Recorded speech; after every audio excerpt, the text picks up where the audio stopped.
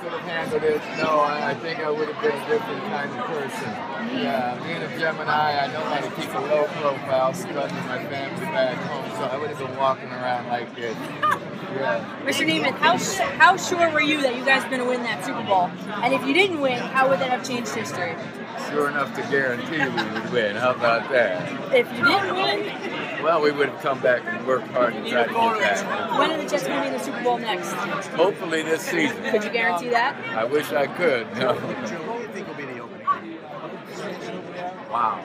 Uh, you know more about it than I do. I haven't seen all of them enough. It's like multiple choice. You know, Yeah, but I, I do know, yeah, because the team certainly wants him. He did well last year. They respect him the way he carries himself and then puts him in good situations. And Fitz, uh, if he improves a little bit with his passing, they can be part of the defensive uh, playoff team.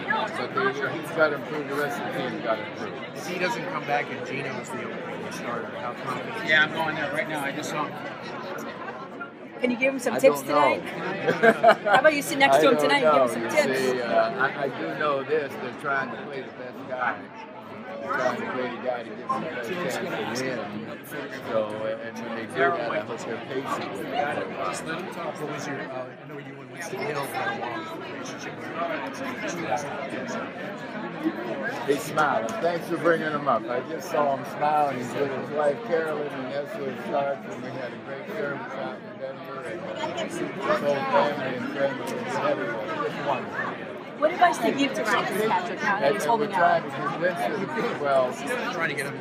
he deserves to be in the Hall of Fame, you see, the Professional Football Hall of Fame. His career was such a long, successful career, you know, making Pro Bowl teams and all, and uh, personally saved my life many, many times. Surprised, surprised he's not in the Hall of Fame. Fame. He's got to leave for one second.